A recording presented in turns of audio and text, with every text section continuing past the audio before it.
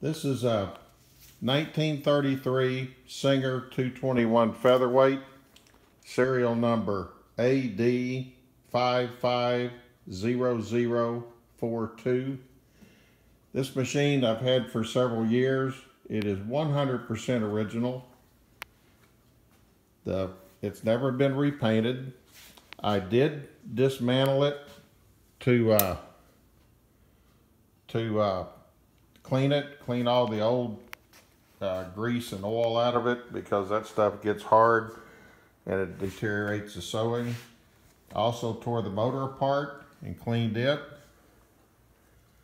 It's uh, this motor was immaculate on the inside and actually the machine is too was also I left the bottom cover off so you can kind of take a quick look at it it's just a very clean machine all the way around it hasn't seen much use uh, it sews fantastic my wife will sew on it and let you see exactly how it does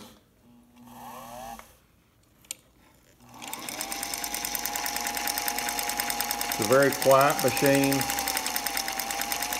Very nice motor. The stitching fore and aft are both just fantastic. This is just all around a really nice machine. There's the bobbin side and there's the top side. I hope somebody makes this machine a very good home. It's had a good home here. It just hasn't been used because it's such a unique machine.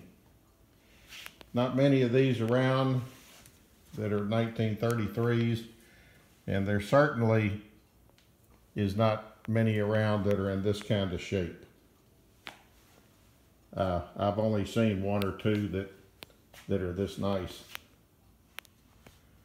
Anyway, everything's original. It comes in the original case with all the attachments, the book, original foot feed. Uh, the only difference is it uh, you'll get it also with the original bulb, but I will enclose a uh, LED bulb and an electronic foot pedal, which gives you a lot more control and more visibility on the machine. But it's just a very nice machine. You can see it and the only thing I've done to it is clean it. That's it. So happy bidding. I hope it goes to a good home and goes to a home that it gets some use.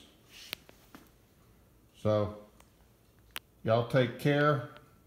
I also hope it goes to a quilter since my wife is one. So happy bidding. Thank you for looking. Bye-bye.